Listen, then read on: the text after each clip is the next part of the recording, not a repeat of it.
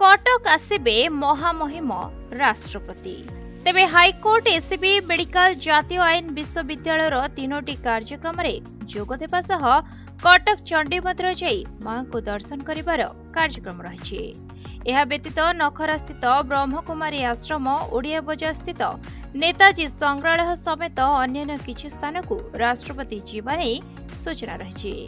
ଏନେଇ ଏହି ତିନୋଟି ଅନୁଷ୍ଠାନକୁ ସରକାରୀ ସ୍ତରରେ ସୂଚିତ କରାଯାଇସାରିଛି ପ୍ରଥମ ଥର ପାଇଁ ରାଷ୍ଟ୍ରପତି ଦ୍ରୌପଦୀ ମୁର୍ମୁ କେନ୍ଦ୍ରୀୟ ଧାନ ଗବେଷଣା କେନ୍ଦ୍ରକୁ ପୂର୍ବରୁ ଥରେ ଆସି ସାରିଛନ୍ତି। ଏହା ତାଙ୍କର ଦ୍ୱିତୀୟ ଗସ୍ତ ବୋଲି କୁହାଯାଉଛି। ତେବେ ରାଷ୍ଟ୍ରପତିଙ୍କ ଗସ୍ତକୁ ଦୃଷ୍ଟିରେ ରଖି କଟକରେ ପୁଲିସ ନରାଜ ନିକଟରେ ହେଲିପ୍ୟାଡ୍ର ବନ୍ଦୋବସ୍ତ ସହ ତାଙ୍କର ପୁରା ଗସ୍ତ ରୁଟ୍ ପାଇଁ ସ୍ୱତନ୍ତ୍ର ଆରେଞ୍ଜମେଣ୍ଟ ଉପରେ ନଜର ରଖିଛି।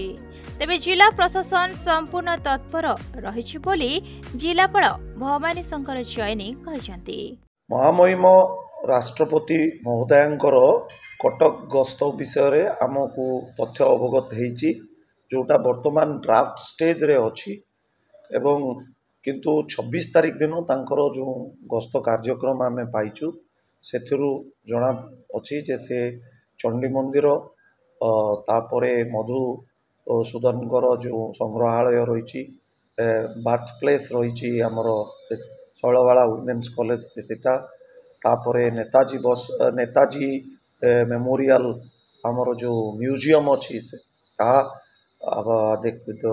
ପରିଦର୍ଶନ କରିସାରିଲା ପରେ ହାଇକୋର୍ଟ ଯିବେ ହାଇକୋର୍ଟରେ ତାଙ୍କର ପଞ୍ଚସ୍ତରୀତମ ଯେଉଁ ଅ, ଉ- ଉତ୍ସବ ହେଉଛି ପ୍ରତିଷ୍ଠା ଦିବସର ତାର ଉଦଯାପନ ଉତ୍ସବରେ ସେ ଭାଗ ନେବେ ଏବଂ ତାପରେ ଏ, ମହାମହିମଙ୍କର ଅ, ରହିଛି ମ, ମ, ଆମର ଏସ୍ ସି ବି ମେଡ଼ିକାଲ କଲେଜର ଆନୁଆଲ୍ ଫଙ୍କସନ୍ ଏବଂ ଏନ୍ ଏଲ୍ ୟୁର କନଭୋକେସନ୍ ଏ ଦୁଇଟି କାର୍ଯ୍ୟକ୍ରମ ପରେ ସେ ଆ, କଟକରୁ ବିଦାୟ ନେବେ।